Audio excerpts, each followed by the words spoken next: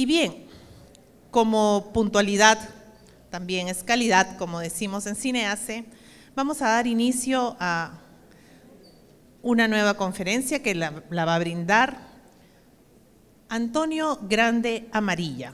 Él va a abordar la gestión del cambio.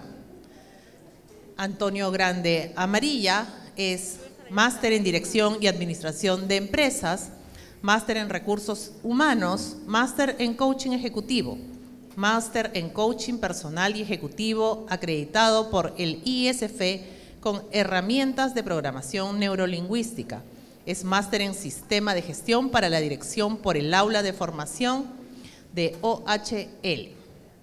Con ustedes dejo al coach Antonio Grande Amarilla, quien recibimos con un aplauso, por supuesto. Buenas tardes, ¿se me oye bien? ¿Sí? Bueno, vamos a, pasar una hora divertida, se lo aseguro. ¿eh? Y lo vamos a hacer en formato taller. Les cuento que yo tengo la suerte de poder trabajar en algunas de las universidades, que posiblemente en las que ustedes trabajan. Hoy tengo suerte nada más y dicto en 17 diferentes y no sabía cuál elegir y no quería elegir ninguna que estuviera aquí para que no generara un poco de controversia. Así que elegí esta. ¿Y saben qué? Elegí esta porque dicen, dicen que hoy, no sé si mañana, en esta, en esta escuela de negocios es donde se hace el mejor MBA del mundo. Hoy, mañana no lo sé. Y yo quisiera preguntarles a ustedes quién querría una beca para hacer el MBA gratis. Cuesta 600 mil dólares los dos años. ¿Quién, pero se lo regalamos, le damos una beca. ¿Quién lo quiere? Levánteme la mano. ¿Sí? Interesante. interesante porque luego vamos a trabajar con esta decisión que ustedes han tomado. ¿Les parece bien? ¿Sí? Miren este vídeo.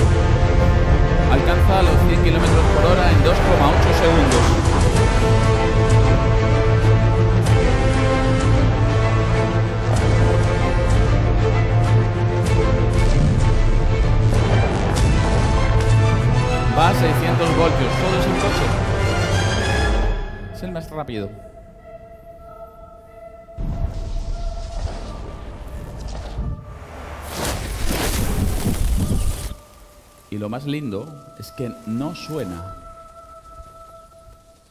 no se oye,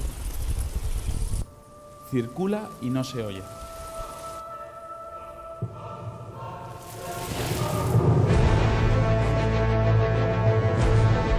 Pero lo más importante de todo, lo más importante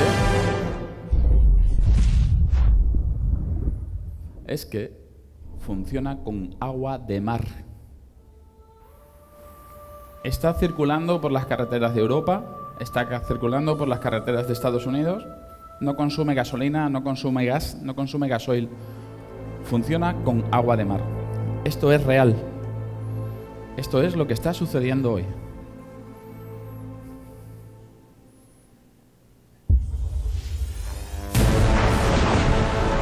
Y esa es la marca.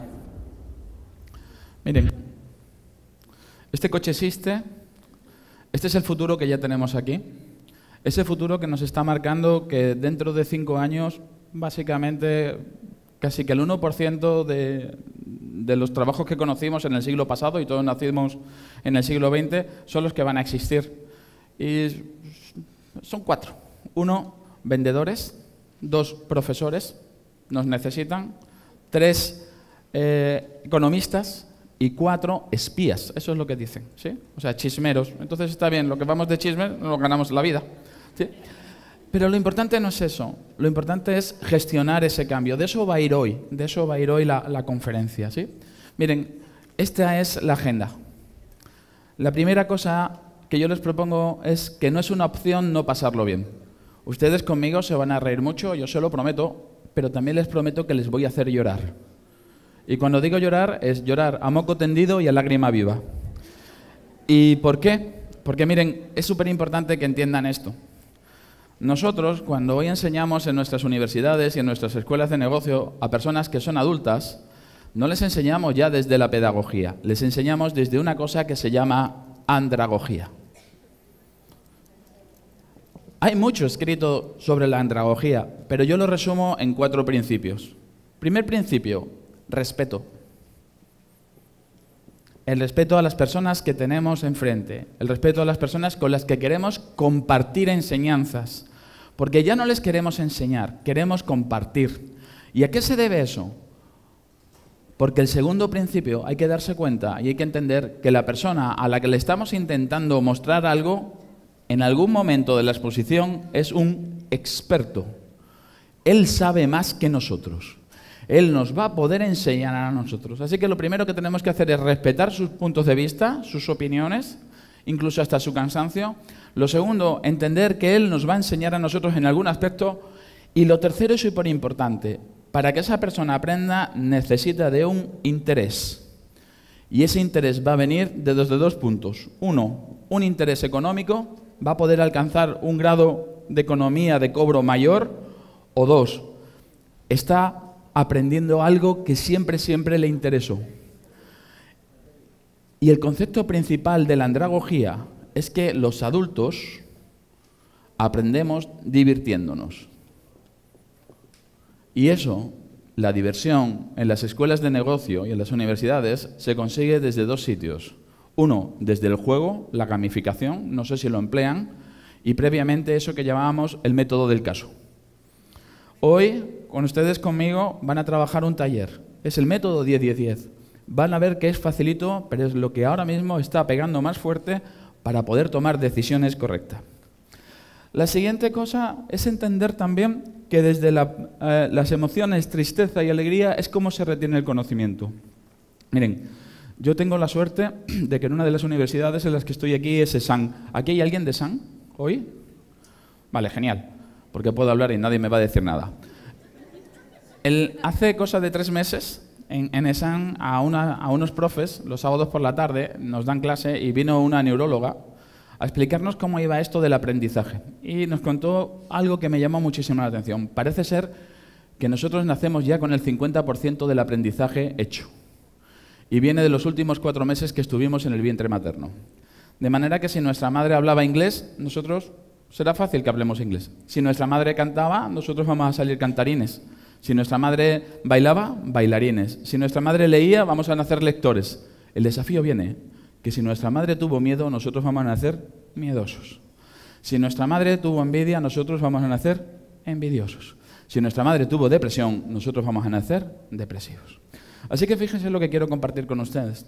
Si ya de por sí siempre hay que tener muchísimo respeto hacia las señoras, aún más si cabe cuando la señora esté en estado, no tanto por ella, sino por lo que viene de camino. ¿Ok? El siguiente 35% es una muy mala noticia para todos los que estamos aquí, porque se aprende el 35% restante desde los 1 a los 7 años. ¿Qué quiere decir? Que la gente ya no tiene que ahorrar para ir a una universidad como las nuestras. La gente tiene que ahorrar para que su hijito vaya al mejor nido, al mejor kinder, a la mejor guardería, donde les desarrollen el talento temprano porque yo soy de los que está convencido que todas las personas tenemos talento y hay que desarrollarlo, y donde además se le despierten todas esas actividades cognitivas que lleva encima. De alguna forma, lo que les estoy proponiendo es que a los que van a ser papás y a los que van a ser abuelos, que van a tener nietos, que ahorren dinero para llevarle al mejor, a la mejor guardería, al mejor nido, donde aprenda inglés, chino, alemán, hindú, y donde le despierten todas esas habilidades manuales que tiene. El 15% restante que les queda es una muy mala noticia, la peor que existe. ¿Por qué? Porque se aprende desde los siete años hasta que nos morimos. ¿Y saben qué sucede? Muchos de los que estamos aquí vamos a vivir ciento y pico años. Y la mala noticia es que nos vamos a jubilar con 65, con 70, cuando nuestro cuerpo físico va hacia abajo y vamos a estar viviendo durante 35 años quemando neuronas y apareciendo un señor al lado que se llama Alzheimer. Y nos vamos a convertir en una carga para nuestros seres queridos. Para combatir al Alzheimer hoy básicamente hay dos cosas. Una es la lectura. De alguna forma yo que les propongo también es que a todas las personas que ustedes les dan clase a sus alumnos díganle que no vean tanta televisión y menos tanta televisión del tipo de esto guerra, ¿vale? A los de cerebraos esos que los dejen en otro sitio. Y la siguiente cosa, que ustedes hagan muchas cosas con las manos, que cultiven rosas, que tengan canarios, que tengan perritos, que tengan ustedes un sentido por los que moverse. No piensen en que ustedes lo van a pasar mal. Los que lo pasan mal son las personas que nos acompañan cuando tenemos Alzheimer. ¿De acuerdo? La siguiente punto es, no es una opción no interrumpir y no preguntar. Miren, yo tengo, por cierto, no sé si les han dicho que vamos a terminar a las 2 de la mañana. ¿Sí? De hecho, yo tengo para 60 horas. Entonces, no saben dónde vamos a llegar. No saben dónde voy a llegar con la presentación. No se vayan ustedes con dudas. Interrúmpanme siempre que quieran, ¿sí? Y yo me comprometo a contestarles hoy o a contestarles en 48 horas. Ustedes tienen mi nombre, me pueden encontrar en las redes sociales, es bien fácil. ¿sí? La siguiente cosa no es una opción no participar. Vamos a jugar con esta hojita que tengo. ¿sí? Cuando vayamos jugando, yo les voy a proponer que ustedes vayan leyendo en voz alta. No vamos a leer todos, algunos, pero sí necesito que sean proactivos, ¿sí? que no me sean pinchaglobos. ¿De acuerdo? La cuarta, si algo no gusta, se dice. Miren, yo soy español, se me nota. Aunque ya soy peruanazo, ¿ah? Más de Lima que la mazamorra morada. Llevo cuatro años aquí y vine para 15 días es el mejor país donde se vive en toda Latinoamérica. Tengo la suerte de dictar en muchos países como se vive en Perú en ningún sitio. Y dentro de Perú a mí me encanta Lima. Pero soy español y digo lisuras. Si se me escapa alguna es de forma inconsciente, ¿sí? No tengo, no tengo mala intención. Y luego la última, esto es lo que más le va a interesar. Si se quiere preguntar algo en concreto, se pregunta. Si ustedes quieren que yo les enseñe a pedir aumento de sueldo, yo les enseño a pedir aumento de sueldo. ¿eh? hay un día, una hora, ¿eh? y cómo se pide aumento de sueldo a sus jefes. Así que luego lo hacemos. ¿Hasta ahí va bien? ¿Sí? Ah, podemos empezar por ahí. pues fíjense que, por hacérselo rápido, pero los aumentos de sueldo se piden los viernes a las 10 de la mañana más o menos y una vez que se ha hecho el cierre del mes. Si el cierre de mes ha sido positivo, y hay que pedirlo a las 10 de la mañana porque su jefe ya tiene ganas de marcharse y entonces si, no les va a patear para el lunes. ¿eh? Si ustedes piden aumento de sueldo el lunes, dicen, no, ya hablamos mañana o pasado. Es el viernes y antes de las 10, ¿de acuerdo? Pero bueno, miren, quiero contarles algo. ¿Hay alguien en la sala que se llame Cáceres, de apellido? ¿No hay nadie que se llame Cáceres? Cáceres existe y es la ciudad donde yo nací. Cáceres es famoso por dos cosas. Uno, porque es el segundo conjunto monumental de Europa. Y dos, porque en esta ciudad se rueda Juego de Tronos. Cáceres es King Landing. Es la ciudad donde está el, trono principal. Y yo, bueno, es fácil porque los actores solamente tienen que entrar disfrazados. ¿sí? O sea, esto es ahí. Miren, quería contarles que yo nací aquí en el año 70 y yo soy el éxito de un fracaso. Cuando yo tenía 14 años, mi papá falleció yo soy el hijo mayor, mi mamá es muy religiosa y decidió que yo tenía que ser el, hijo, el cabeza de familia. Era muy buen estudiante, se me daban muy bien las matemáticas y mi ilusión siempre fue diseñar aviones. Yo quería ser ingeniero aeronáutico, pero cuando cumplí 18 años y iba a ir a la universidad, mi madre no me dejó, me dijo que yo tenía que quedarme a vivir en esta ciudad de 70.000 habitantes y en ese momento, y creo que casi que igual que hoy, solamente tenía dos carreras, arquitectura y obra civil. Yo pregunté a dos hermanos gemelos, que uno había estudiado arquitectura y otro obra civil, ¿quién, había ganado, quién ganaba más dinero. El arquitecto levantó la mano y yo le dije a mi madre que iba a estudiar por dinero, arquitectura. Lo que pasa es que el día que me dio el dinero para apuntarme a la Politécnica, y nunca supe por qué se llamaba Politécnica, porque nada más que tenía dos carreras, se tenía que haber llamado Bitécnica, pero bueno, en provincia somos así. Cuando me acerqué a la, a la ventana de arquitectura había 700 alumnos y cuando me acerqué a la ventanita de obras públicas no había nadie. Y lo que hice fue, me cambié de fila y me apunté a ingeniería. me daba igual lo que iba a estudiar, me daba igual. Lo importante fue que yo me puse a trabajar enseguida. Y verán por qué es importante. Porque tuve los dos mejores jefes del mundo. Yo que soy de los que cree que las personas vamos a ser, vamos a tener éxito en función de quién nos enseña. Si nosotros tenemos buenos padres, buenos maestros y buenos jefes, vamos a ser muy, muy exitosos. Pero nuestros jefes son los que nos van a enseñar la parte laboral. Así que la clave está ahí. Si ustedes tienen buenos jefes, ustedes van a llegar muy lejos. Si ustedes son malos jefes, sus equipos no van a llegar bien. Y esos dos jefes me enseñaron lo siguiente. El primero era el, fenómeno de las relaciones humanas. Era una persona que conseguía todo, lo conseguía todo convenciendo a la gente. Y fue el que me enseñó que la negociación era algo que existía desde que yo me levantaba por la mañana hasta que me acostaba por la noche. Desde que me toca despertar a mi hijito por la mañana y no quiere tomarse el cacao, ¿le suena? Hasta que por la noche me dice cinco minutitos más papi y no se quiere ir a la cama. En ese momento yo tengo que ser consciente que mi vida es como un pantalón. En un pantalón que tiene dos bolsillos, en un bolsillo llevo una lista de peticiones y en el otro bolsillo llevo una lista de concesiones. Y cada vez que pida yo algo tengo que estar dispuesto a dar algo. Y cada vez que me pidan a mí algo tengo que estar dispuesto a pedir algo. Es un ¿y qué más quieres? ¿Y qué más quieres? ¿Y qué más quieres? Ese señor también me enseñó cuál era mi capacidad de trabajo. Nosotros entrábamos a las 8 de la mañana en la obra, pero no teníamos hora de salida. Nosotros cenábamos todos los días pizza en la oficina e inventamos telepizza. Todos los días a las 9 llamábamos al pizzero y por la voz ya sabía si la pizza era de cuatro quesos o era de piña. Lo más lindo era que si a las nueve y cuarto no habíamos llamado a Telepizza, Telepizza nos llamaba a nosotros. Y él fue el segundo aprendizaje. Antonio, cuando estés cansado negociando, piensa que la persona que está enfrente de ti tiene que estar tan cansada como tú. Si eres capaz de levantarte un paso más, si eres capaz de dar un avance más, tú vas a ganar esa negociación. Nunca, nunca te rindas y jamás, jamás te quejes. Ese señor, que era un fenómeno de las relaciones humanas, ¿de acuerdo? Era un desastre con los números. Y al final lo echaron. Y me mandaron de Madrid al que me enseñó más a la hora de hacer cuentas. Pero el aprendizaje no fue hacer cuentas. El aprendizaje fue que me dijo que hay dos cosas que jamás, jamás se delegan que son la responsabilidad y el control.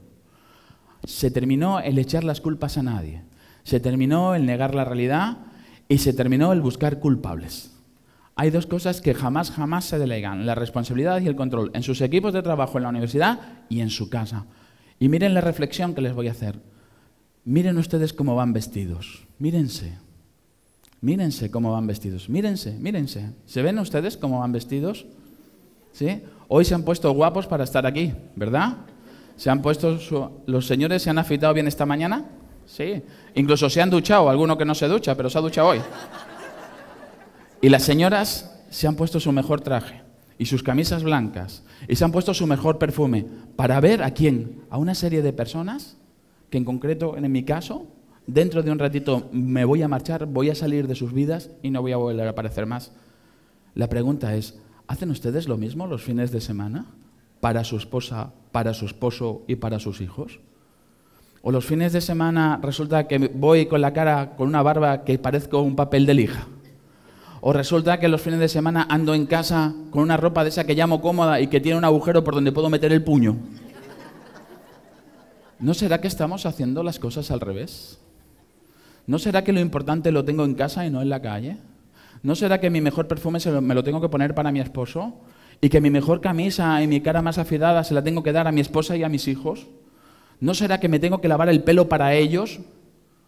Porque ahí hay que mirar a alguno los fines de semana cómo va por casa, ¿eh? Que hace así se fríen patatas fritas. Es lo que hay que cambiar. Eso fue lo que él me enseñó. Que hay dos cosas que jamás, jamás se delegan, la responsabilidad y el control. Y que mi responsabilidad era poder terminar las cosas a tiempo para poder llegar a casa a tiempo. Que mi responsabilidad era generar el mejor equipo de trabajo para que lejos de que yo tuviera que hacer sus cosas, ellos pudieran hacer las mías. Miren, cuando ustedes tienen personas en sus equipos de trabajo que no funcionan, el trabajo de esas personas no sale adelante. Y al final, ¿quién les tiene que hacer? Ustedes. ¿Y ustedes pueden dejar de hacer sus cosas? No. Y entonces tienen que gastar el tiempo para lo suyo y el tiempo para los demás. ¿Y a quién le quitan tiempo? A la familia. A la familia, que es lo más importante. Y detrás de la familia, cuando no las atiendo, sabe que llega otro aprendizaje, que es el siguiente. Cuando dejas de dar valor, solo es cuestión de tiempo que te sustituyan. Cuando dejas de dar valor, solo es cuestión de tiempo que te sustituyen en la universidad y en tu casa. Cuando tú no compartes el conocimiento y no eres útil, tu jefe empieza a pensar que ya no te quiere. Cuando tú en tu casa no pasas tiempo, tu esposa o tu esposo empieza a pensar que no le quieres. Y hay veces que aparece uno más, un tercero, y surge algo muy desagradable que se llama divorcio. Nunca, nunca, nunca dejen de atender a lo más importante que es su familia. Tuve la suerte de seguir subiendo mucho y llegué con 30 años a... Bueno, fui funcionario del Estado, pero me aburrí. En seis meses me salí. Y luego llegué con 30 años a ser gerente general de una empresa que se llama OHL. Yo era ingeniero civil eh, con la especialidad de Puerto del Estado, pero había hecho hospitales muy grandes, depuradoras, y en ese momento me contrataban para ser el gerente de asfaltos, sin tener ni idea, pero a mí me daba igual, porque mi trabajo, igual que el suyo, no consiste, no consiste en hacer el trabajo de los demás. Mi trabajo, igual que el suyo, consiste en gestionar contratos. Y para eso tienen que tener ustedes a los mejores. El talento atrae talento y la mediocridad atrae mediocridad. Busquen ustedes el talento y rodense de él. Así es como salen los equipos adelante. En ese momento fue cuando conocí a mi esposa. Y cinco años después ella me pidió dos veces matrimonio. Al segundo le dije que sí. Y le dije que sí y nos casamos. Y cuando me casaba, mi jefe, que se llamaba Juan Miguel Villarmir, de una empresa que se llama OHL, me mandaba a la República Checa a ser gerente de una empresa de ferrocarriles sin tener ni idea de checo ni de ferrocarriles, pero me daba igual. ¿Por qué? Porque para mí lo importante era gestionar equipos. Y cuando me iba a marchar, mi jefe vendió la empresa. Y eso generó un gran conflicto, un gran conflicto que me llevó a que cambiaba. Me tenía que cambiar de empresa. Me iba a ir a una empresa que se llama Bengoa. Y el día que iba a formar el contrato, a mediodía, me llamó este señor. El que más me enseñó. ¿Saben quién es? Es súper famoso. Todos ustedes, todos ustedes le conocen. Porque tiene un trabajador más famoso todavía. Este. ¿Conocen a ese señor? Se llama Cristiano Ronaldo, ¿verdad que sí? Pues yo trabajé para el señor que está al lado, que se llama Florentino Pérez. Y me dijo que me contrataba y que tenía que ser eh, el mejor y que él me iba a enseñar a ser el mejor. Y me pagó mucho dinero, mucho dinero. Y me puso un Mercedes en la puerta. Y como estaba recién casado, me puso un descapotable. Si hubiera tenido cuatro hijos, me hubiera puesto una camioneta ML. Y resultó que me ponía los trajes y me los compraba él. Y que dormía siempre en suite. Y además, yo no volaba en sus aviones, volaba en su aerolínea, porque él tiene su propia aerolínea, que se llama Clicker. Y es el dueño del 12% de una empresa que se llama Telefónica, ¿le suena? Y del 20% de una empresa que se llama Iberia. Y gané muchísimo dinero. Pero había un trato. A cambio de todo ese dinero y de todas esas cosas, 365 días al año, 7 días a la semana, yo era suyo. Tanto fue así que el primer año de matrimonio yo pasé 208 noches fuera de mi casa. Yo sabía que salía por la mañana, pero no sabía si volvía. ¿Y saben qué pasó el día del aniversario de boda? Que mi esposa tenía una cara hasta aquí. Y me dijo, mira Antonio, yo no me he casado contigo para esto. Cuando sales por la mañana de casa no sabes si vuelves. Cuando vuelves, llegas tarde y tan de mal humor que no me hablas o me contestas mal. Y los fines de semana estás tan cansado que no tiene fuerza ni para hacer niños. Así que elige, elige. El Mercedes o yo. Y yo le dije, pues sabes que te digo, Catarina, que elijo el Mercedes. Y sabe que me dijo Catarina, pues Antonio, aquí te quedas. Y se divorció de mí. Si dejas de dar valor, solo es cuestión de tiempo que te sustituya. Y me puse a trabajar un montón. Y tuve 7.200 empleados a cargo. Y llegó la crisis en España. Y tuve que empezar a despedir a muchísima gente. Y hubo un viernes que tuve que despedir a 500 personas. Dejé a 500 familias en la calle. ¿Ustedes saben la presión que genera eso? Y empecé a engordar y me puse en 136 kilos. Y yo me llamo Antonio Grande, pero la gente pensaba que Grande era mi apodo. Y déjenme que me permítanme una lisura. Mi silla de director no tenía brazos, porque estaba tan gordo que no me cabía el culo. Era triste. Y lo peor de todo, lo peor de todo, es que el 21 de julio del 2010, con este bolígrafo que siempre llevo encima, empezó a dolerme este brazo y me estaba dando un infarto. Y me fui a un hospital. Y me fui a un hospital y como pude, como pude, convencí a los médicos de que me salvaran. Y los médicos, entre cuatro, me subieron a una camilla y lo siguiente que hicieron fue que me cortaron el terno. Y yo ese día llevaba un terno de 4.500 euros. El sinvergüenza ese en 10 segundos se cargó 4.500 euros. Y me indujeron el coma. Y estuve tres días en coma inducido. Y yo no sé si ustedes han oído alguna vez que cuando la gente vuelve, hay gente que ve un túnel y ve una luz. Yo no tuve túnel y no tuve luz. Yo tuve una audición. Hubo alguien que me habló y me dijo, Antonio, ¿qué me traes? Y yo le dije, te traigo dos carreras, siete maestrías, 7.200 empleados a cargo, cuatro casas, tres carros, te traigo éxito. Y la voz me dijo, Antonio, ¿no tienes esposa? ¿No tienes hijos? Hace siete meses que no hablas con tu madre, que no ves a tu madre. Hace nueve meses que no hablas con tu hermano Ricardo. No tienes amigos, no tienes nada. Cuando yo desperté, estuve siete días solo en el hospital porque nadie sabía que yo estaba allí. Y yo no se lo decía a nadie. Yo era superjefe, no tenía que justificar nada. Y el día que me dieron el alta, me mandaban seis meses a mi casa a descansar. Y en vez de irme a mi casa, sí que fui, pero a ponerme otro terno y volver a trabajar a la oficina. Y esa misma tarde me dio el segundo infarto. Y me llevaron mis compañeros al hospital. ¿Y saben a qué hospital? Al mismo. ¿Y saben quién estaba a la puerta? El mismo médico. ¿Y saben qué me dijo? Te lo dije. ¿Y saben qué le dije yo? Digo, vale, pero déjame que me quite hoy el terno, no me jodas otros 4.500 euros. Y esto que parece tan divertido es la suerte que tuve para estar hoy aquí con ustedes, para trabajar sobre gestión del cambio y hacerles entender muchas cosas hacerles entender que lo importante es volver a casa a tiempo. ¿De acuerdo? Y de eso va a ir hoy. Mi jefe tenía dos frases. Antonio, lo que no se mide y evalúa no se puede mejorar. Todo el grupo ACS, que es como se llama el grupo que tiene el Real Madrid, el grupo Dragados, que es quien está haciendo la línea 2 de metro, y el grupo Cobra, que es quien nos jode todas las calles de Lima, ¿le suena? Se miden con cinco KPIs. Y los llevamos en el celular. Y constantemente se está midiendo. Todo lo que no se mide y evalúa no lo podemos mejorar. Y yo le añadí algo. Lo que no se evalúa se devalúa.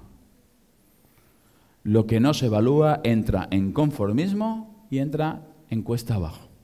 La pregunta es, ¿qué es lo que están ustedes evaluando y cuántas veces lo están evaluando? Porque lo que no se mide no existe. Y nosotros tenemos que estar constantemente en área de mejora. Tenemos que estar aprendiendo. Lo que están haciendo ustedes hoy aquí es súper positivo. Están ustedes recibiendo imágenes, conceptos e ideas de otras personas que son enriquecedoras. Acuérdense de la andragogía. Y estos son los cinco pilares que entiendo hoy para gestionar el cambio con sus equipos. Porque lo vamos a ver después. Hay tres generaciones que estamos en marcha. Una se llaman Baby Boomer, otra se llaman la generación X y otra cosa que se llama Millennials, que atentos, son el 70% de la población activa del Perú y es el futuro. Las cinco claves son como una mano, ahí las tienen, como la suya, igualita, esa es la mía. El dedo pulgar es pasión. Y ahora les voy a preguntar yo a ustedes algo. ¿Quiénes de los que están aquí esta mañana se han levantado, se han despertado con pasión? Levántenme la mano. El otro día nos dieron una estadística en ESAN. Solo el 15% de los peruanos nos levantamos con pasión por la mañana.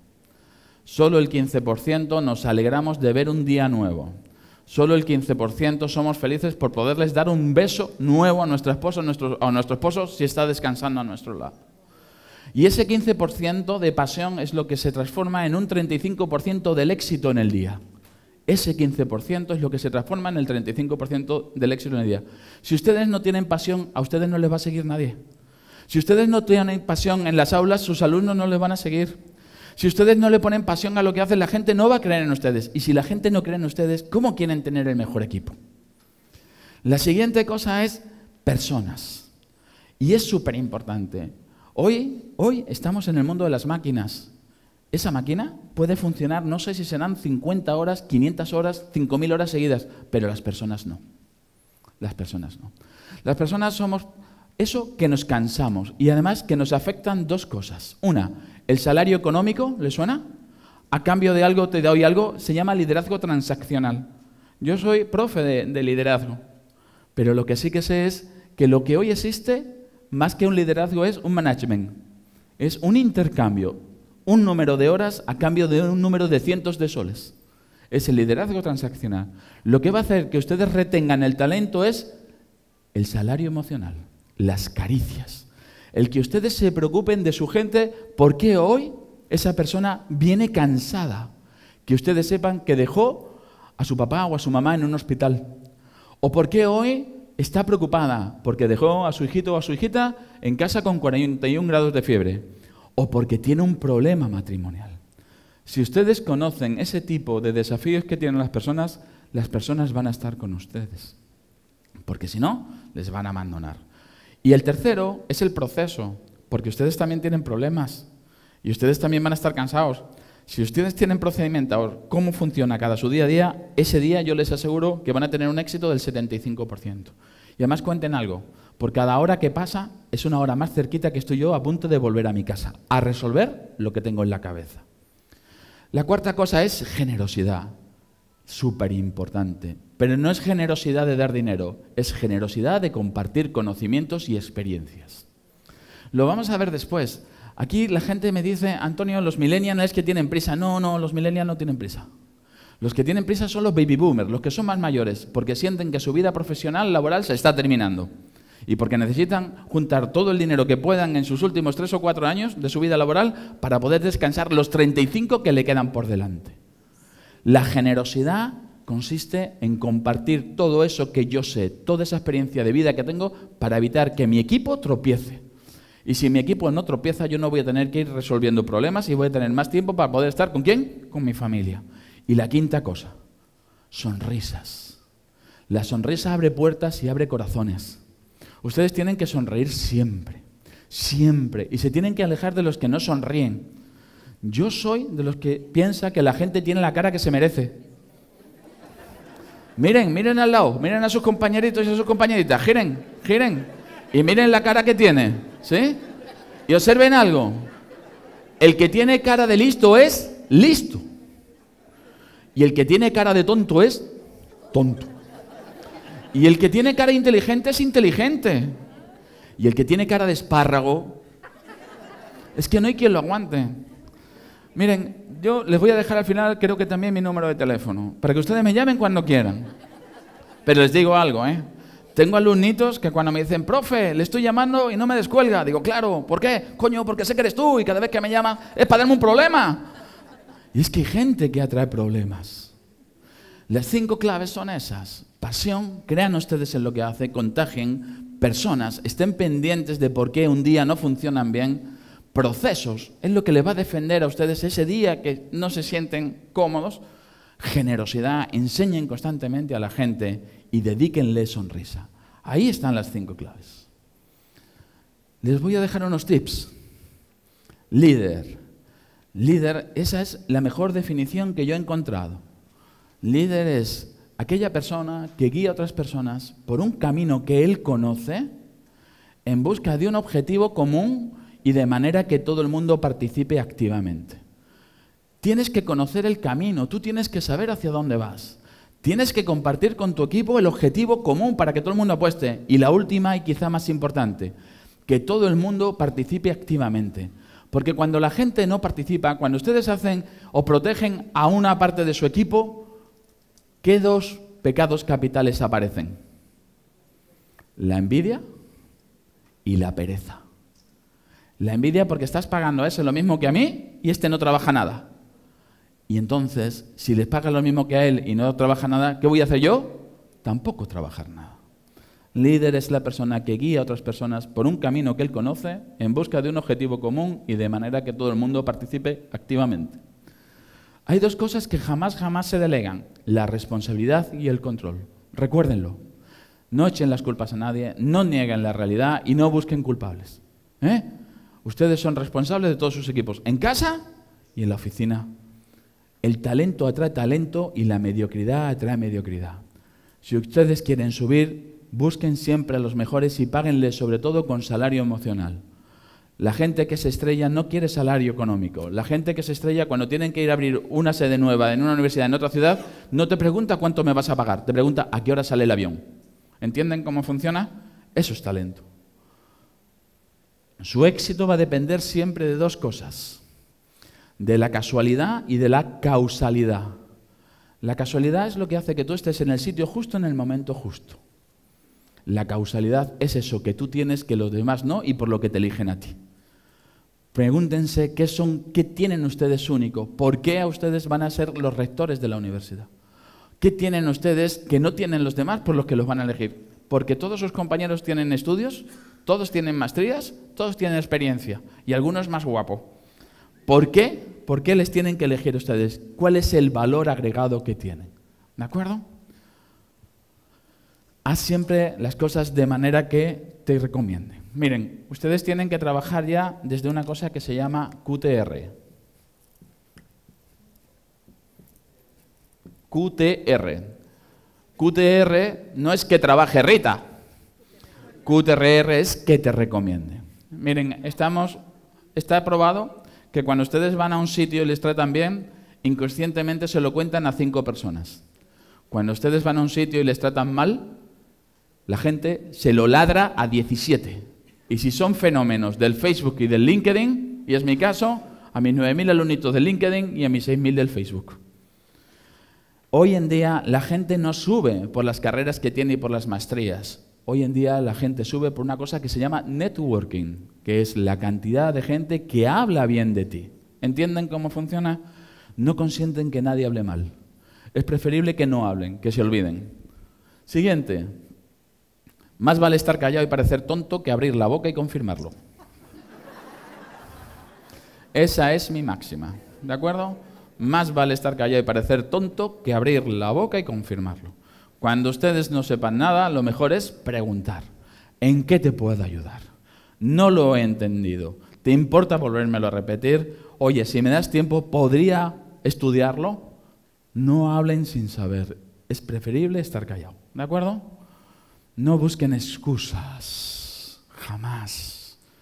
Estoy harto de oír gente que dice, es que, es que, es que, asqueroso, que eres un asqueroso.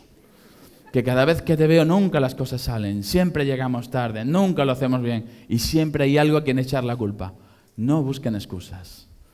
Madruguen, despierten al día en vez de que el día les despierte a ustedes. Hagan ejercicio, cojan fuerzas de primera hora, pongan su sonrisa para cuando su familia se levante, despierten a los niños con un fuerte abrazo, despierten al día. Sean proactivos, vean la parte positiva de la vida, vean la parte positiva de los errores, sean capaces de levantarse, se llama resiliencia, se aprende siempre. Sean disruptivos, no abandonen ninguna idea, guárdenlas todas por tonta que parezca a sus alumnos, por tonterías que les digan, lo que no vale hoy, mañana lo va a valer. Y cuiden, cuiden mucho a esas personas, porque son posibles que sean los que les van a recomendar y los que van a impulsarles hacia arriba. Tienen que saber algo. ¿Sabes cuántas personas hoy viven de Internet en Perú? 300.000. ¿Saben cuántas van a vivir el cálculo dentro de tres años? Cuatro millones y medio. Una de esas ideas puede ser que sea la libertad que ustedes necesitan para trabajar en casa. Sean networker, trabajen mucho, trabajen mucho las relaciones sociales, vayan a eventos, intercambien tarjetas, tengan Facebook, tengan LinkedIn, interésense por la gente, escriban un blog, artículos de opinión. ¿Cuántos de ustedes todavía no han escrito un artículo en un periódico o en una revista? Dense a conocer. Ustedes saben mucho y la gente queremos aprender de ustedes. Rodéate de innovadores, es gratis, lo vamos a ver dentro de un momentito. Un innovador no es un creativo, un innovador es el que hace realidad una idea. Y ahí entramos nosotros, ya lo van a ver. Y no tengan prejuicios.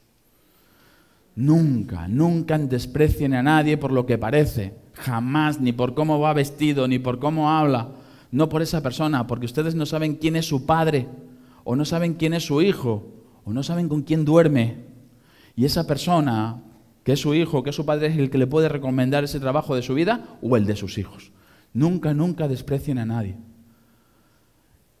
Y ojo con las grandes conversaciones. Ojo con la hora de tomar decisiones. Tienen ustedes esta hoja, ¿verdad que sí? ¿Sí? La sacan todos y van a necesitar un lapicero también. ¿No? ¿No se las han dado? Pues en la puerta las había. Entonces, ahora, no se preocupe, luego se las dan. ¿Sí? ¿Todo el mundo tiene? ¿Tiene la hojita? Pues había 500, ¿eh? Entonces quiere decir que hay más de 500 personas en sala. Dios mío. Y han venido a ver al feo, eso no puede ser. Vamos a leerlo en voz alta, ¿le parece? ¿Eh? Estamos en silencio y va a ir leyendo personas por, por párrafo y los demás les seguimos. ¿De acuerdo? ¿Quiere empezar, por favor?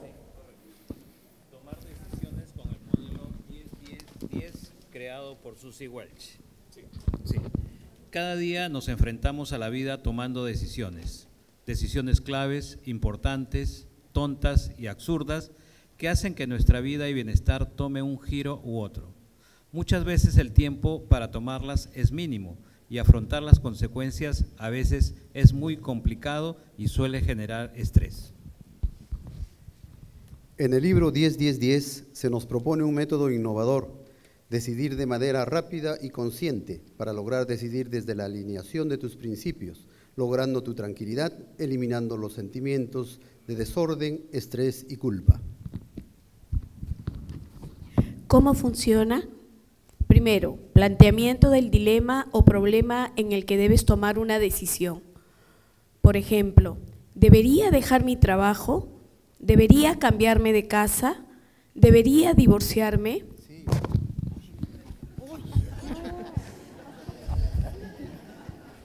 Segunda parte, remodelación de la pregunta. Gran parte de las confusiones surgen cuando en la pregunta incluimos aspectos no importantes y que generan confusión. Lo importante es reconocer aquellos que de verdad quieres resolver. Por ejemplo, ¿qué motivos hay para dejar mi trabajo? ¿Para qué quiero cambiarme de casa? ¿Qué me lleva a cuestionarme divorciarme? Recopilación de información. En esta fase se propone que cualquier reflexión quede por escrito. Da igual hacerlo con lapicero o con el ordenador. Lo importante es escribirlo. Solo hay un requisito imprescindible, ser honesto y concreto al responder estas tres preguntas. Primera pregunta, ¿cuáles serán las consecuencias en 10 minutos de cada una de mis opciones? Y en 10 meses y en 10 años, este método permite situarte en la línea del tiempo, imaginando cada una de las alternativas y sus consecuencias de una forma ordenada y alineada con tus principios y valores. Cuarto, análisis. Llegados a este punto, analiza y contrasta lo que has escrito con tus valores más íntimos, creencias, metas, sueños y necesidades. Este análisis hará aflorar tus verdaderos valores, miedos y deseos y te permitirá enfrentarte de forma sincera y auténtica con lo que realmente quieres para ti, para liderar tu vida desde ti. Es un proceso intenso que requiere tiempo y que no resulta fácil, pero a cambio la toma de decisiones se realiza de una forma firme y con determinación, habiendo contemplado de forma sistemática y profunda todas las posibilidades dice, utiliza hoy el, método 10-10-10, ¿sí? Vamos a darle la vuelta a la hojita y ustedes tienen su, su papelito, ¿sí? Su bolígrafo, ¿lo tienen a manita? ¿Su lapicero? ya. ¿Ustedes se acuerdan que yo les dije que si se querían venir conmigo a Stanford? Y muchos dijeron que sí, ¿verdad que sí? Bueno, pues vamos a ver. Ustedes no van a pensar mucho, ¿sí? Conforme yo vaya haciendo las preguntas, si les parece, las escriben ustedes ahí, rápido, ¿sí?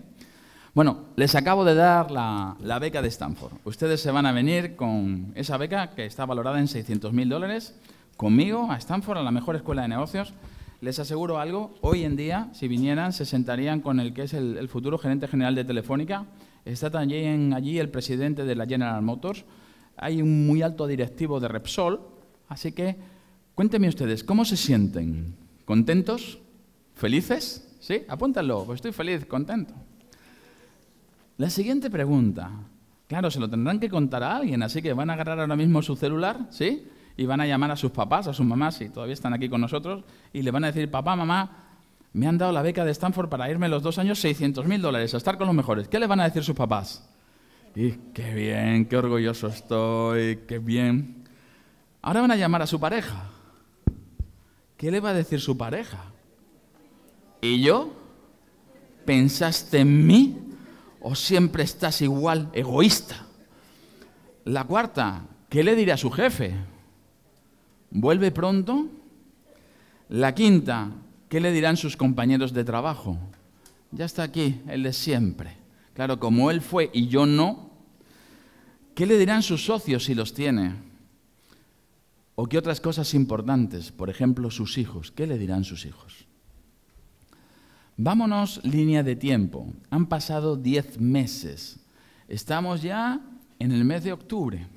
Se van a enfrentar ustedes a los exámenes, a las evaluaciones más difíciles de su vida. Por cierto, no sé si saben que solamente el 53% de los alumnos que arrancan el MBA de Stanford lo terminan. Los demás jalan. Son 10 meses en los que ustedes se han hinchado de nieve porque allí es invierno. ¿De acuerdo? Y se van a examinar hoy, el examen más difícil, ¿cómo se sentirán? ¿Preocupados? ¿Agobiados? ¿Cómo estará su economía? Porque ¿saben qué? Yo les he dicho que les daba 600 mil dólares para venirse a hacer el MBA, pero no les he dicho que le iba a dar dinero para pagar sus casas, ni sus hipotecas, ni sus carros, ni sus deudas, ni los colegios, ni las universidades. ¿Cómo afectará a la relación de pareja? Si se ha quedado aquí, ¿seguirán con la misma, con el mismo? ¿Se habrán divorciado? ¿Se habrán distanciado? ¿Cómo afectará a su familia, sus hijos? ¿Los verán? ¿No los verán? ¿Sus padres? ¿Cómo afectará a su trabajo? Porque a lo mejor ahora se han tenido que poner allí a trabajar, ¿verdad que sí? Para tapar las deudas. Aparte de estudiar, además hay que trabajar. ¿Cómo afectará su situación en el trabajo los que se quedaron? ¿Habrán ascendido después de 10 meses o seguirán haciendo lo mismo? ¿Cómo afectará sus relaciones interpersonales? ¿Habrán perdido a sus amigos de siempre? Y a sus aficiones, ¿saben qué? Allí no hay ceviche y no les gusta el fútbol. ¿Cómo afectará a sus obligaciones? ¿Tendrán ahora más obligaciones? Pero vámonos dentro de 10 años y ustedes han sido uno de esos que han aprobado el MBA. Y han pasado 10 años, somos 10 años más viejos, más mayores. ¿Cómo afectará su economía hoy? ¿Ganarán más dinero? ¿Pero tendrán más gastos? ¿Dirigirán la empresa en la que trabajan hoy? ¿Hoy dirigirán su universidad? Porque el MBA lo sabemos, ¿verdad que sí? El MBA se hace para dirigir una empresa, como nuestra universidad o nuestra escuela de negocio.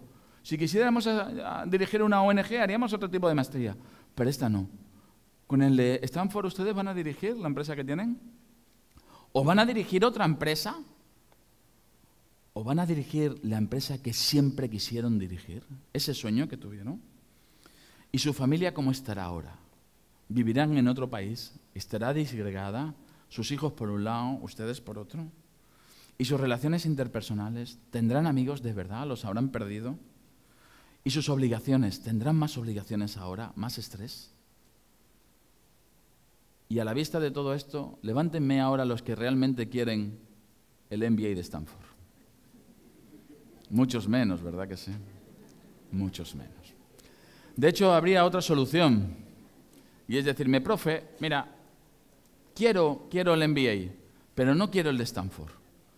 Págame el MBA aquí en Perú, que los hay muy, muy buenos, muy, muy buenos, que va a costar del orden de 75 mil dólares o 90 mil dólares el más caro, y con los otros 525 mil dólares que sobran, ayúdame a montar ese negocio que yo siempre quise montar.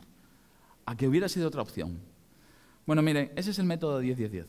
El método 10-10-10 lo inventa esta señora, se llama Susie Well, está en internet, es un libro que se lee muy facilito, hay un montón de vídeos además, ¿sí?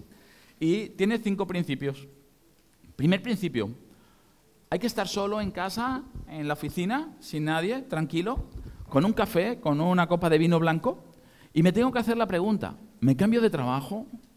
¿Me cambio de casa? ¿Me divorcio?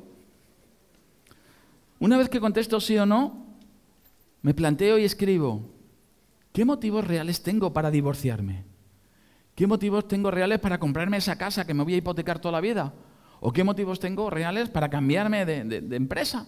¿Qué motivos de verdad? La tercera clave es agarrar todas estas preguntas que tienen ustedes y plantearse cómo se sienten en ese momento, qué consecuencias va a tener en 10 meses y qué va a pasar dentro de 10 años. Las decisiones que toman hoy de forma rápida tienen sus consecuencias directas en los próximos 10 meses y es su eco durante 10 años. La cuarta, ¿está alineado con lo que tú siempre soñaste? ¿Es tu sueño tener esa casa? ¿Es tu sueño cambiarte de trabajo? ¿Era tu sueño divorciarte? ¿Te casaste para divorciarte? Y decide, decide. Así que tiene cinco fases. Primero, sí o no me cambio de casa, sí o no me cambio de trabajo, sí o no me divorcio, lo que sea, tranquilo, solo, sola en casa, sin que nadie me moleste, sin que nadie me influya.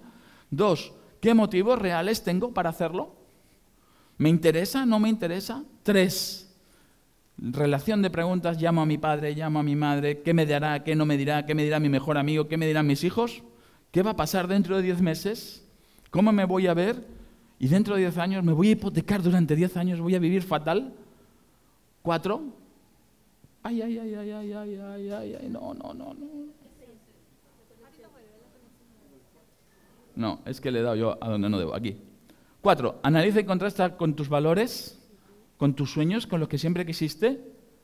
Cinco, y decide. Y aquí es donde viene la gestión del cambio. Decide hacia dónde vas y con quién vas. Hoy, hoy, ustedes y yo estamos rodeados trabajando de tres generaciones diferentes. Estas tres generaciones conviven buscando una felicidad diferente también.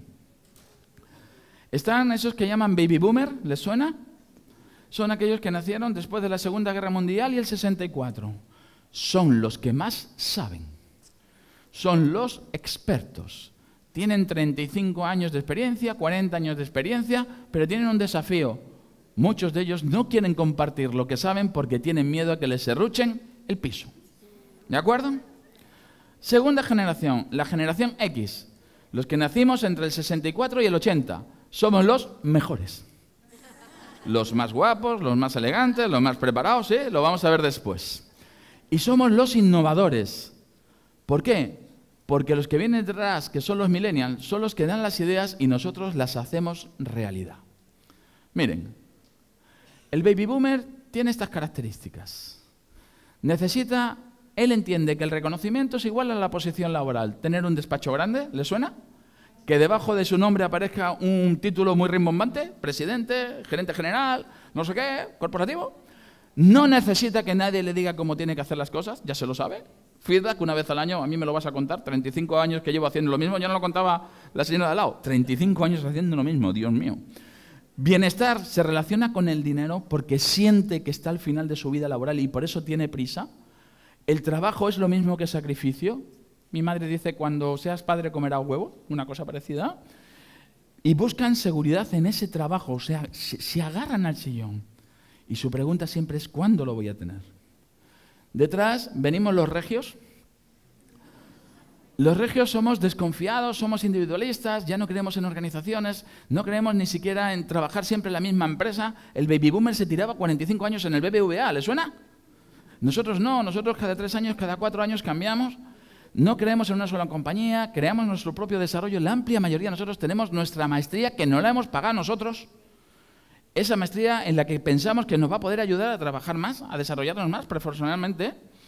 Damos a nuestros hijos lo que nuestros padres no nos dieron. Fíjense que mi madre a mí me obligó a estudiar ingeniería civil, ¿verdad que sí? Yo no tengo hijos, pero si tuviera uno y ingresara en la UPC y me dijera, papá, quiero ser arquitecto, y a los seis meses me dice, papá, me he equivocado de carrera, quiero estudiar periodismo, ¿yo qué voy a hacer? Hijo, no te preocupes, hablamos con quien sea y cambiamos el expediente. Nosotros damos a nuestros hijos lo que nuestros padres no nos dieron. Somos abiertos y directos y siempre estamos preguntando, ¿para qué? Y miren las cosas que hacemos. What's your management style? Passionate. Passionate. Passion. And what's your biggest weakness? Being stubborn. Stubborn. Stubborn, I think. Okay, give me one reason why I should hire you. Es una entrevista de sports my passion. I'm really passionate about football. really like a football.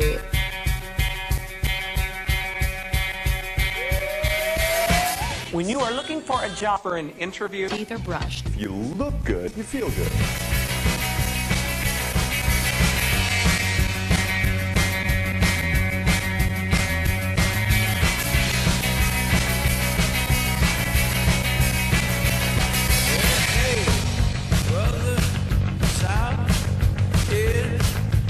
Hi. Hello. How are you? Bien fenomenal. Okay, Yes. Reeves. Okay.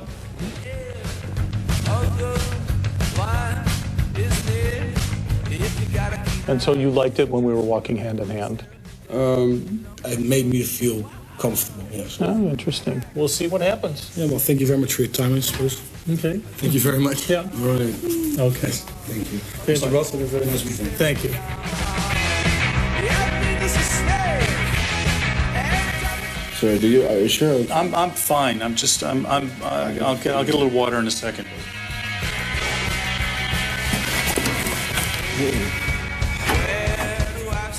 Okay, you say no? Stay away, please. If we're talking about money, how much money do you think you would like to have for the position? Um,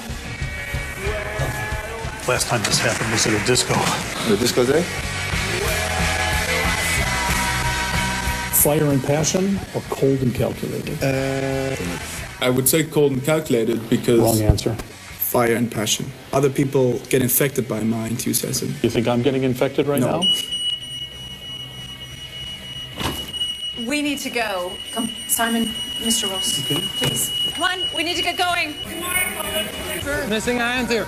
Can you help us, please? Can, can you help us, please? There's a fire or something. We have, we have a gap here, sir.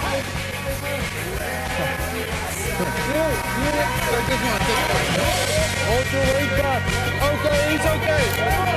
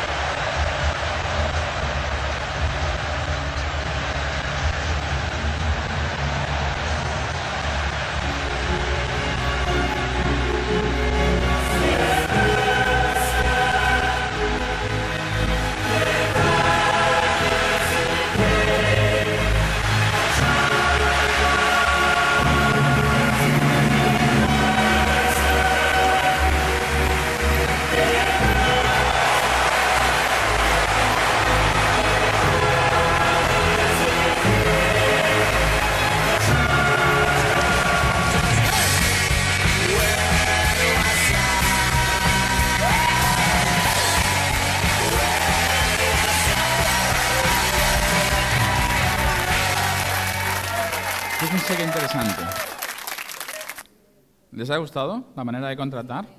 ¿Quién piensa que ha decidido contratar de esa manera? ¿A quién se le ocurrió la idea? ¿A un baby boomer? ¿A un millennials? ¿O a un regio? ¿A un regio? ¿Por qué? Porque así es como nos hubiera gustado que nosotros nos contrataran. Y porque nosotros, con la posición que tenemos hoy en las compañías, podemos hacerlo realidad. Por contra, vienen estos señores. Ahí tenemos los millennials, el 70% de la población activa del Perú. Son personas que lo que les encanta es tener compensación entre la vida laboral y la vida personal. Estos datos son de hace cinco meses, lo que les voy a mostrar ahora. Para ellos es súper importante poder salir del trabajo a tiempo para poder hacer cosas. Pese a lo que se cree, ellos no quieren dinero, quieren otra cosa. Yo les voy a preguntar algo. Si yo a ustedes les diera ahora mil dólares, mil dólares en efectivo, en dinero, ¿ustedes podrían irse con su esposa o con su esposo cuatro días al Cuzco desde aquí con mil dólares, incluyendo los billetes de avión? Difícil, ¿verdad? Cuatro días difícil. Ustedes le dan mil dólares a un millennial y se pierde tres meses en el cono sur. Porque para él lo importante es visitar cosas aunque tenga que dormir debajo de un coche, debajo de un carro, donde sea, y comer lo que sea. Lo importante para él es vivir. Y para vivir necesitan a alguien que les enseñe. Y ese alguien son ustedes. Los millennials necesitan un mentor porque necesitan feedback constante. Ellos no quieren equivocarse, porque si se equivocan tiene que quedarse más rato en el trabajo. Ellos buscan que un X o un Y, porque les encanta trabajar con ellos, les enseñen para que no tropiecen. Ahí es donde está la clave. Reconocen el trabajo con sentido, tienen vocación cívica, son los que levantaron el país hace siete meses cuando tuvimos los huaicos, fueron los que movilizaron el país, nosotros se lo consentimos, pero ellos pusieron el trabajo, nosotros les pusimos el dinero y los medios.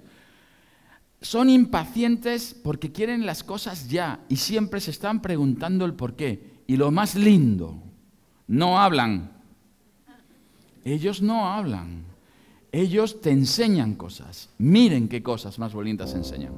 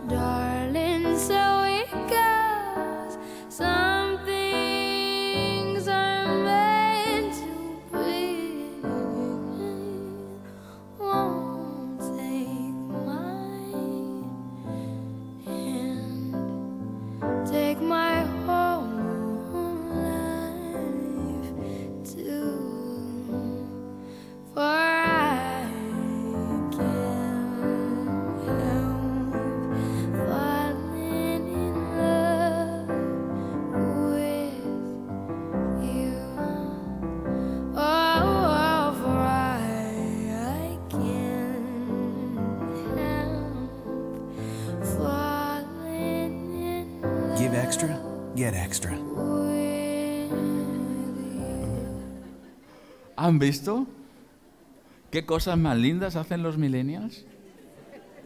Porque eso a los que estamos aquí a ninguno, ¿ah? No se les ocurre.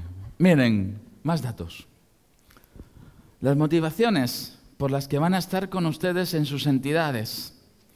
El 22% porque existe un balance entre la vida profesional y personal.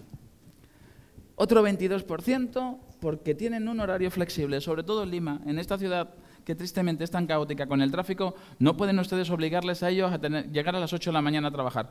Ah, y tampoco les digan que tengan una reunión antes de las 9 y media de la mañana, porque no son personas. ¿Vale? Estos no son personas hasta que no se han tomado un buen café cargado.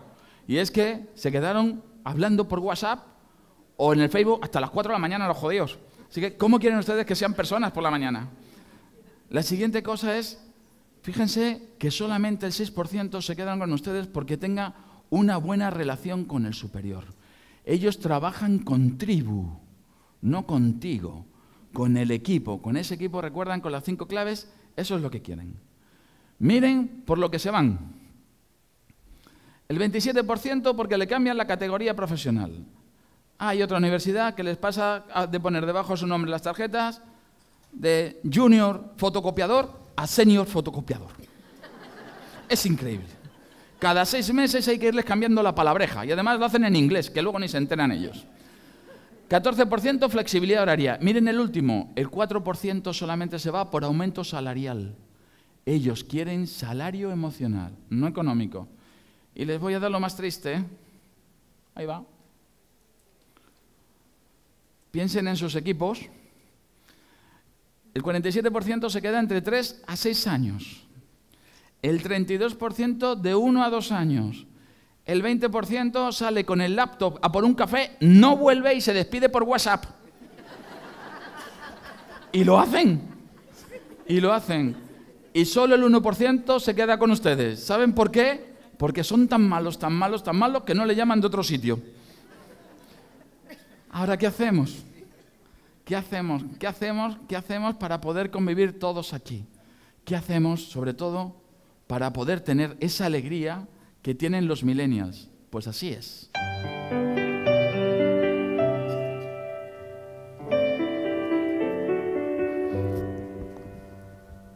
Cuando llegas a los 54, tus hijos ya están grandes y recuperas esa libertad.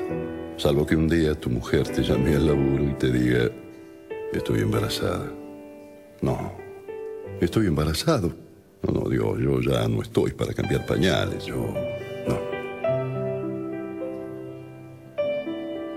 Pero cuando la vi por primera vez,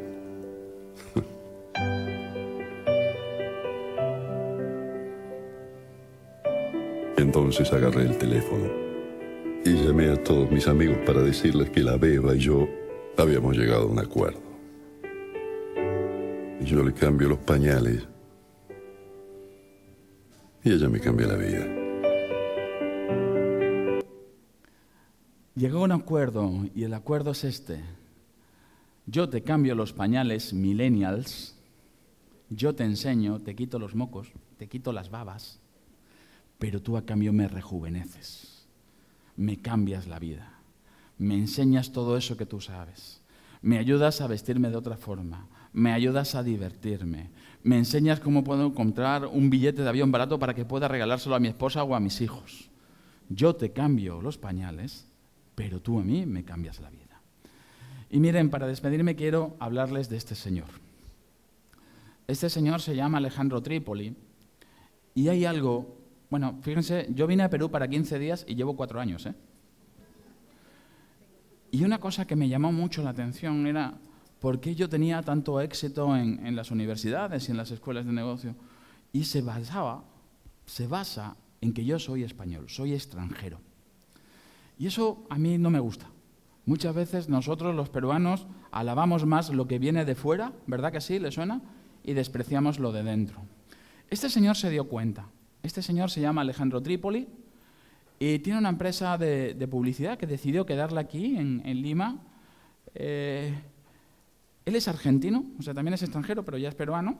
Y, dijo, mira, yo voy a tener una empresa que yo controle, solamente voy a tener 220 trabajadores, solo. O sea, podría crecer mucho más.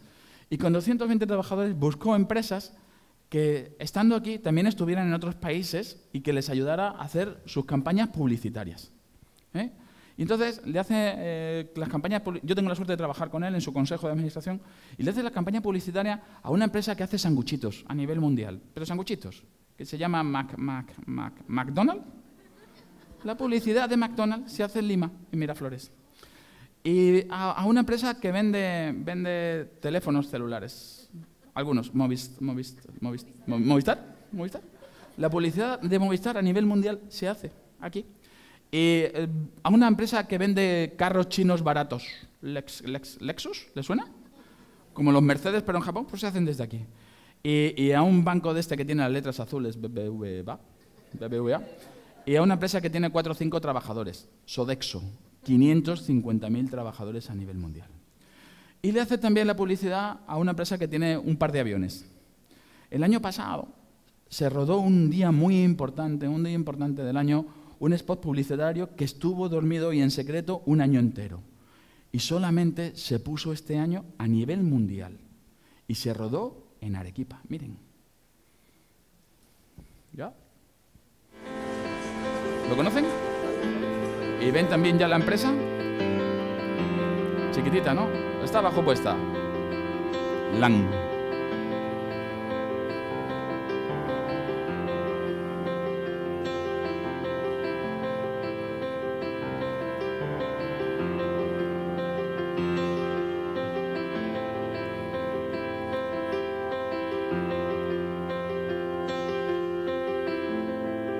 A 33.000 pies de altura.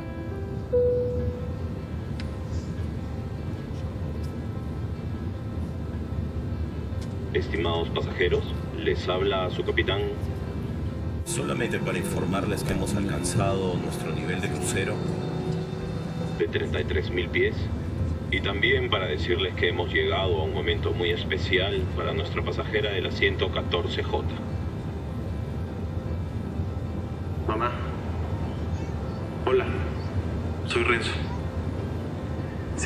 Sorprendida de verme ahí, aquí. Sé que no te voy a ver por el Día de la Madre porque vas a estar viajando por trabajo. Pero no quería dejar de decirte que eres la mujer más increíble que conozco. Quiero que todos te conozcan. Así que voy a pedirte que te pares. Sí, en serio, párate. Esa mujer hermosa que ven ahí es mi mamá. Es la mujer que creyó en mí cuando tocó irme de la casa. Y la que nunca dejó de creer en mí cuando me tocó regresar porque ya no tenía a dónde más ir. Mi roommate. Mi amiga incondicional. Viejita, te lo he dicho 33 mil veces. Y ahora 33 mil pies de altura tiene más sentido que nunca. Te quiero hasta el cielo, mamá. Feliz Día de la Madre. Disfrute el vuelo.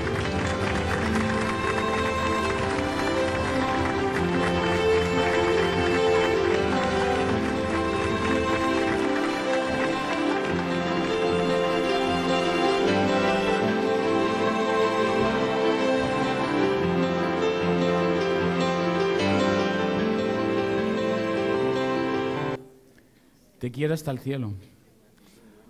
¿Cuántos de nosotros se lo decimos cada día a nuestra madre si está todavía aquí? ¿Cuántos de nosotros si ya se marchó se lo decimos cuando rezamos? ¿Cuántos? ¿Cuántos que no lo hacemos?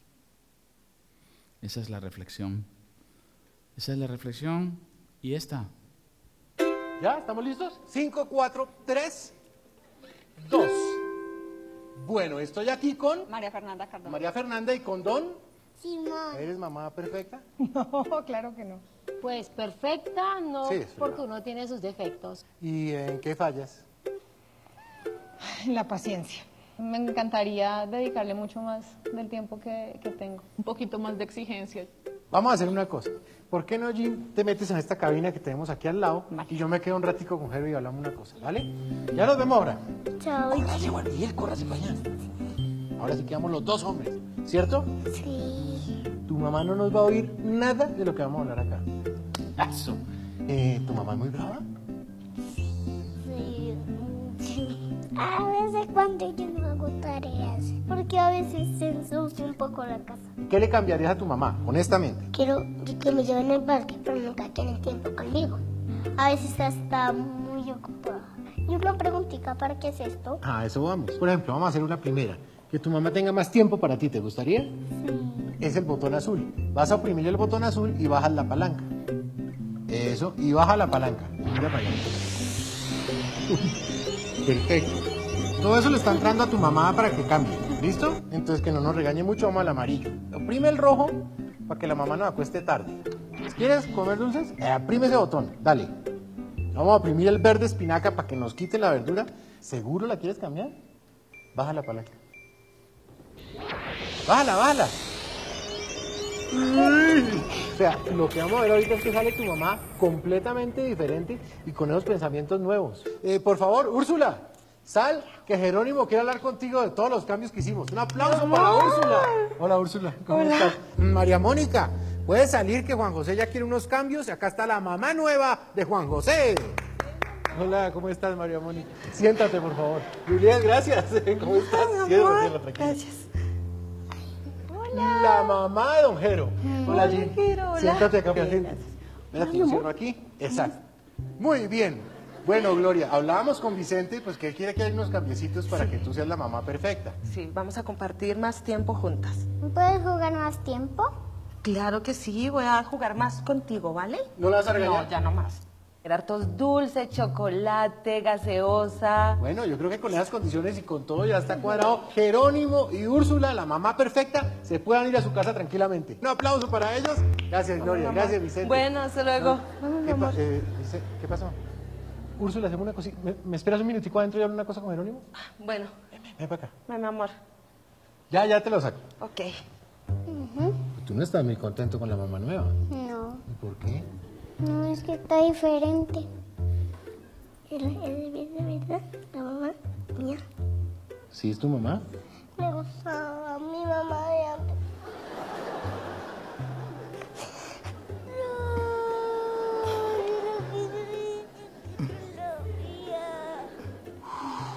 Respira.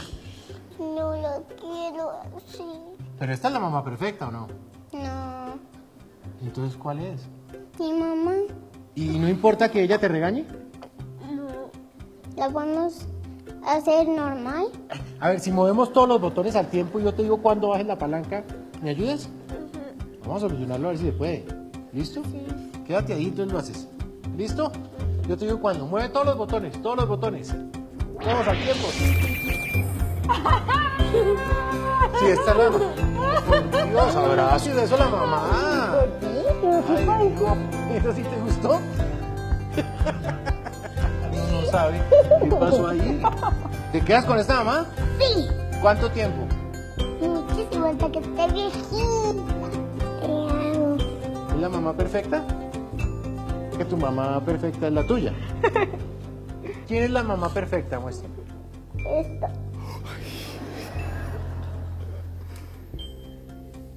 La mamá perfecta sí existe y son ustedes. Y tienen que llegar a casa a tiempo, y tienen que jugar a tiempo con ellos, y tienen que darles besos, y tienen que hacer las tareas, y tienen que ducharlos, porque si no su hijo va a querer irse con otro con otra. Y eso es lo peor que le puede pasar a un padre. Que un niño quiera cambiar a su padre o que un niño quiera cambiar a su madre, porque pasa mucho tiempo en el trabajo haciendo sobre todo las tareas de personas de su equipo. Esta es la gestión del cambio. La gestión del cambio es poder hacer las cosas a tiempo con las personas que merecen la pena. Y para eso necesitan tener ustedes el mejor equipo. Y recuerden, si hay alguien que no sabe, se le enseña. Si hay alguien que no puede, se le ayuda. Pero si hay alguien que no quiere, aquí se queda. ¿Por qué? Porque lo que realmente merece la pena, y ahora va para los papás, es esto.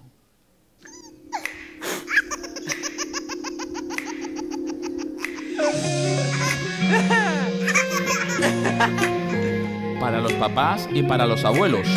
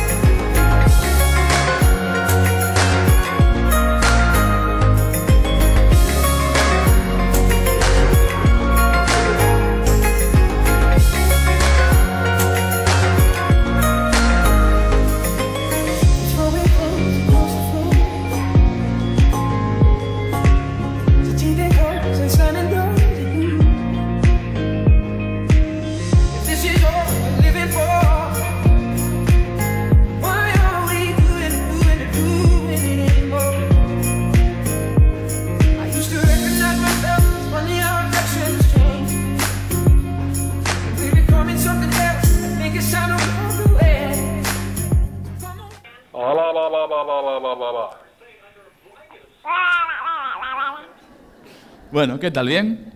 Les prometí que les iba a hacer reír. Les prometí que les iba a hacer llorar. ¿Eh? Y me despido con estas dos frases. Recuérdenlo siempre. El talento atrae talento y la mediocridad atrae mediocridad. Y hay dos cosas que jamás, jamás se delegan. La responsabilidad y el control. Muchísimas gracias y a su disposición.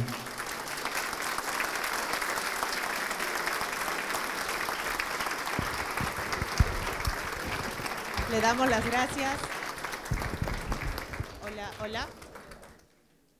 Hola, hola, hola. Sí, le damos las gracias a Antonio Grande Amarilla por habernos mostrado un poco de alegría y un poco de emociones diversas en esta hora que nos ha acompañado.